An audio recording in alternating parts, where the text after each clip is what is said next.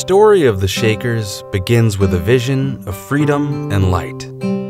The freedom to build a new kind of community and the light of grace, of heaven on earth, here and now.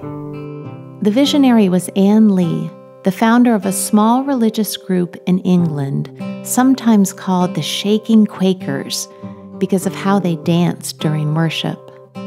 In 1774, Lee and a few followers emigrated to New York, proclaiming the Shaker gospel that we can build communities of heaven on earth. For the Shakers, Mother Ann Lee was the second coming of Christ, the female counterpart to the male incarnation of Christ in Jesus of Nazareth, ensuring from the outset a special emphasis on equality between men and women in Shaker life.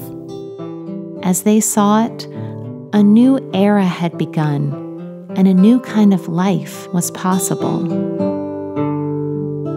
The message found a ready audience in America, and before long, 19 Shaker villages rose from the landscape, from Maine to Kentucky. And in 1792, Canterbury Shaker Village became the seventh. American history is full of hopeful communal experiments but they seldom lasted longer than a few years. Canterbury Village, however, was active for two centuries, from 1792 to 1992.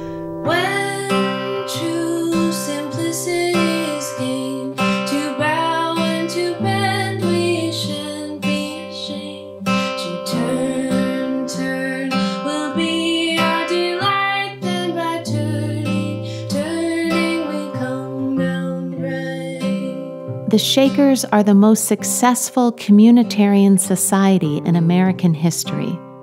Why did so many join the movement? One attraction was the promise of living one's whole life as an act of devotion to God, holding property and proceeds in common, sharing and reinvesting for the common good. The practice of celibacy also opened up new ways of organizing community life. Shaker women worked and ate together, sleeping in separate quarters, as did the men. Children were raised by the village as a whole, and everyone gathered regularly for worship, discussions, and entertainments. For many, this arrangement was refreshingly social and collaborative. Sharing resources and responsibilities freed up women and men to live lives of service, welcoming orphan children, and living out lives of pacifism philanthropy, and equality between men and women. Following Mother Ann's teachings, Shakers believe that God is both male and female, and so men and women govern the community together. Even Shaker architecture tells this story of equality. Two identical entrances, staircases, tables, and dwelling spaces, one for women, one for men.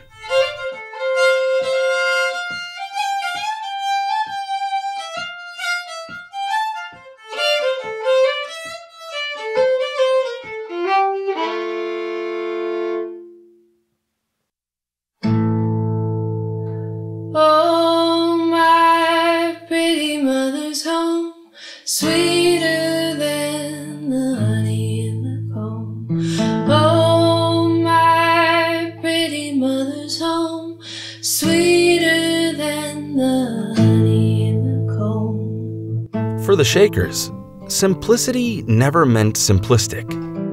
Simplicity meant distilling things down to essentials. It meant deploying resources in the most excellent and sustainable ways possible. The Canterbury apple orchards, for example, brought multiple blessings all at once beauty to the landscape, income to the village, sauce and cider to the table, and that classic shaker breakfast apple pie. Simplicity meant a kind of heavenly order, with each thing in its place. Cupboards and drawers built into bedrooms and hallways limited clutter and stopped dust from gathering out of reach. There's no dirt in heaven, taught Mother Ann Lee.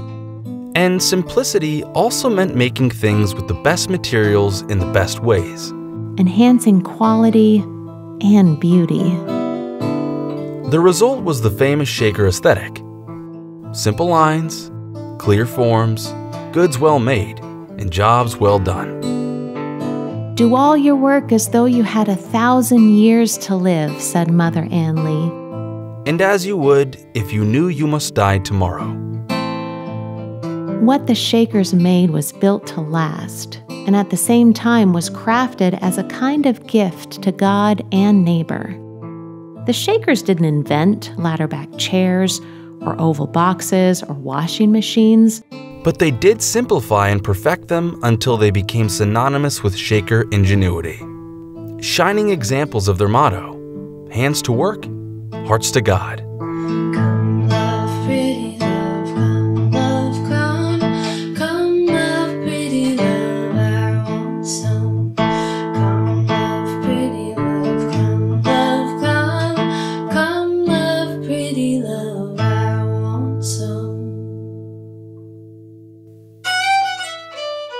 From avoiding the world and its technologies, the Shakers were inventive, tech savvy entrepreneurs.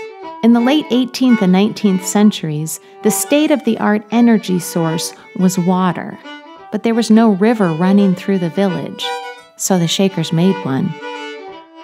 They dug a two mile ditch to bring water from a distant swamp into the village, powering sawmills for lumber, a turning mill for wood products, a tannery for leather, grist mills for flour, and textile mills for fabric.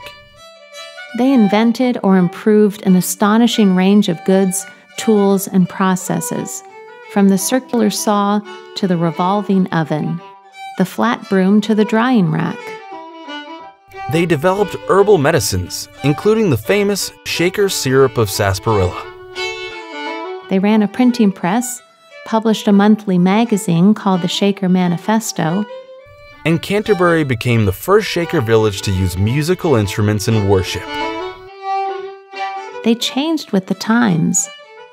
Canterbury was one of the first communities in the region to embrace electricity, the telephone, automobiles. But as the world around them became more urban and industrial, fewer were attracted to the rural way of life, and many Shakers were drawn away by opportunities elsewhere.